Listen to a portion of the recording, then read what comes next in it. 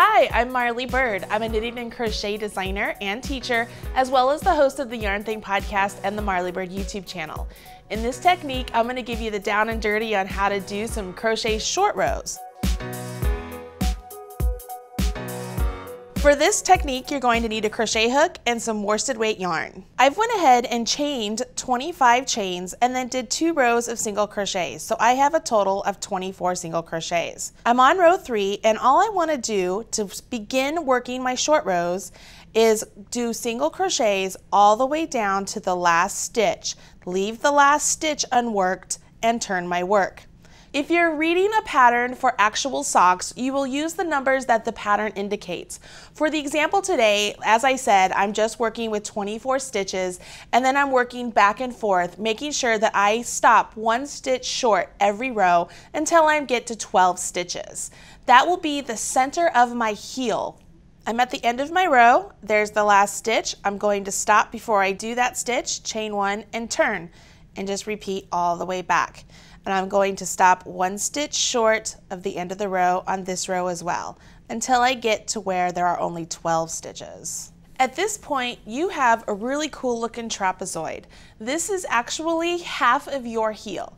If you imagine the heel of your foot would go right there, and this would follow along right along the bottom of your foot and your arch, and we're getting ready to complete the top part of this. To do that, we're going to work across these stitches, and then each row we're going to join to the rows below working our short rows longer. For these rows here, we worked short rows, so we came in, and now we're gonna gradually go back out. I'm gonna change colors so that you can better see what it is I'm doing. So I'm gonna go ahead and join with a slip stitch and work a row of single crochets. I'm gonna work this whole row all the way to the end. And when I get to the end, that's when I'm gonna start building out on these short rows. What I'm going to do essentially is I'm going to work into the skipped stitch a couple rows below. And by doing that, we are going to join the other half of this trapezoid to create the nice heel. I'm at the very end here, and this is where I'm going to come all the way down here to this skipped stitch, go into it, yarn over, pull up a loop to work my single crochet. And then to finish this off, I'm gonna go into the side of this row and work a slip stitch. Okay, that slip stitch is gonna take the place of my chain one.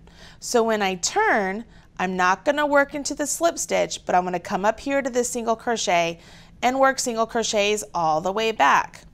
So I'm gonna come all the way back to the end of the row, which now if you've been doing your math correctly, you have you had 12 single crochets and we just added one, so now we have 13. And we're going to add another one at the end of this row, several rows down. But I'm going to show you a little trick that I do to make sure I don't get a big old hole in my heel because, you know, nothing worse than getting a hole in the heel of your sock, especially in a pair of socks you just completed. I'm here at the end and the bottom or the skipped stitch that I need to work to is way down there. So I have all of this space.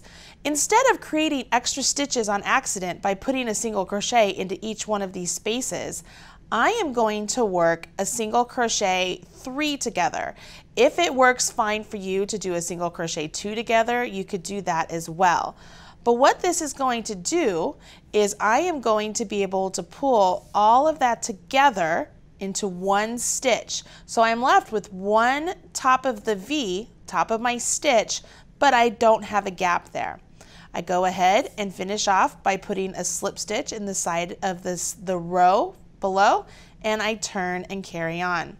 So I go ahead, if you notice I've skipped the slip stitch and I'm going to single crochet all the way back. To complete our little swatch here, I'm gonna keep doing this until I get down to the very last row, always adding an extra stitch into the skip stitch and then a slip stitch into the next row over.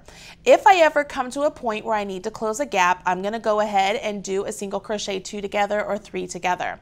Once again, if you're following along in some other pattern, follow along with those instructions and fill in the spaces as they indicate for you to do.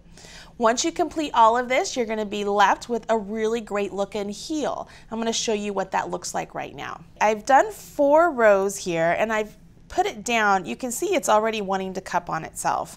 And depending on which direction your sock is working, it will cup either way. It'll all work out according to where your stitches are on the sock for your foot and your heel. If we take this and we look at it more miniature, this is what a completed heel would look like.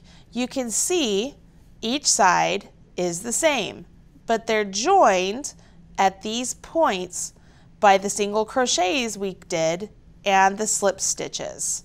So it creates a three-dimensional shape. Now you know how to work crochet short rows. They're very useful for doing a short row heel in a sock, doing darts in a garment, or you can make an entire shawl using just short rows. They're very useful and fun to do.